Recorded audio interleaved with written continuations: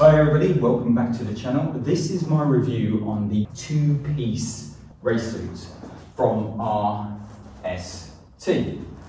So, it is a two-piece race suit zipped together from the middle here and it is gonna be one of the cheapest two pieces you can get, which is why I wasn't really looking at it because I thought, well, you know, for some reason I had a disconnect with RST. I thought it more of a cheaper brand, not as good as A-Stars, etc. And for 450 pound, I think around there, under 500 quid, that's for the jeans, well, leather trousers and your jacket. The boots are separate on top, but again, they were one of the cheapest at 130 pounds.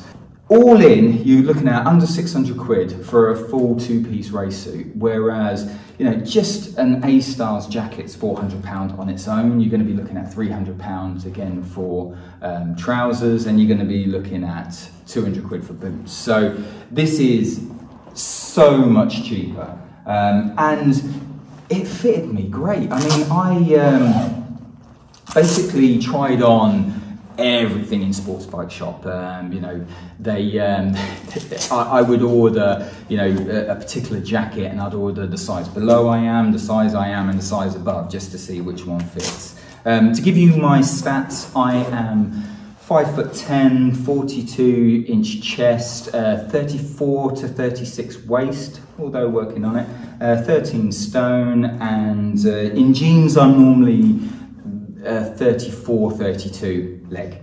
Um, so on here I've got the 44, Euro 44 jacket. The 42 did fit, but it was a race fit and I preferred the comfort fit, a little bit of bag and I could get a mid layer under there. Um, so the jacket was one size up, but the pants were a 30, 32 and I haven't been in a 32 for quite some time, so it was a welcome addition. Now, the pants. Sorry, I'm going to come up close so you can see this.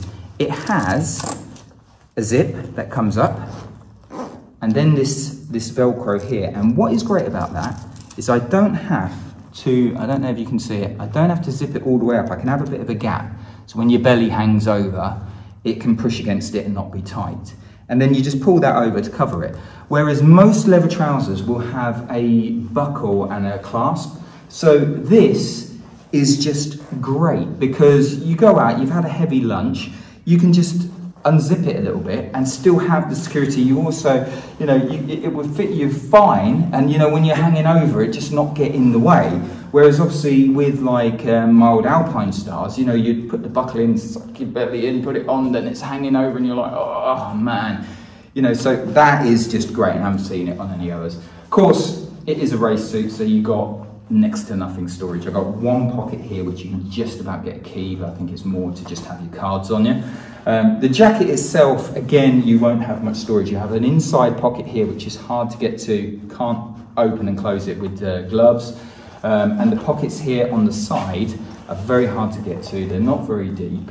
Um, and again, you, you're really, you know, holding up. So all the pockets basically are useless. But you've got to bear in mind, it's meant to be a race suit. So they're going to be useless. You know, you need a tail bag, you need, um, you know, a hip bag uh, if you want to carry stuff on it. It's your usual race suit ensemble here. Everything opens up fully, um, zip down, zip over, and it's designed ideally to have a gauntlet glove go over the top. Um, I have my Knox Handroid pods and they actually just go over the top fine. I have tried putting them underneath, but it doesn't really work. So it's not for gloves to come underneath really. Um, and of course, when the weather's hot, you can just unzip them and get a lovely airflow going through there because it just opens right up. Not exactly safe, but sometimes, you know, when the weather's baking. Um, the connector zip is the uh, full 180 and that's really easy to get on and zip round.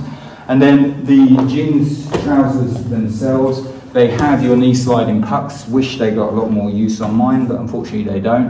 Um, and they're just very comfortable, very breathable. This um, stretch fabric that you got and gussets here, very easy to move around, but the stretch fabric doesn't let a lot of airflow through. It does have a thermal liner, but it's worthless, so just take it out and throw it in the bin. And yeah, yeah, just really nice, simple, cheap race suit triple A protected. So you've got all the protection for a fraction of the price from a great British brand. Um, and then for the boots, the Evo Tech boots, I'm probably going to be too far away, so I'll put a little close up on these so you can see. Um, they are, I mean, again, I went into Sports Bike Shop, thank you Sports Bike Shop Milton Keynes. I tried on everything that they have and you know they just weren't fitting right. I am sort of a nine to ten, depending what it is, uh, nine and a half in trainers usually, and um, yeah, as soon as I put these on, the um, Evo Tech threes they are, they were like slippers. They were lovely. Um, so and and they're waterproof as well for 130 quid. Um, really comfortable, really um, easy to put on. The only thing I've got, and this might be being my first sort of race suit, I don't know if I've, if I've done it right, is I do get a pinching there from where the zip of the trousers is touching. Now I don't know if the trousers, um, I bought them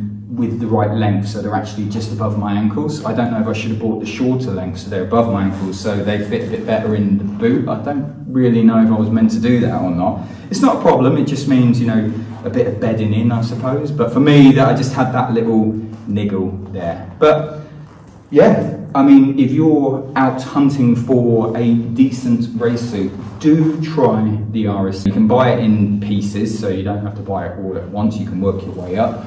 This jacket, would I wear it just with jeans? I have, um, but I do favour my um, Revit uh, vintage glides if I'm going out just in jeans or if I'm trying to um, have some time off the bike, then I'll wear my Roland Sands. So this is the bottom of the picking, but when I want to go out and do some sports bike riding and be in a, well, two-piece, it's my only option, but it's a very comfortable option and, you know, I'm glad I went this route.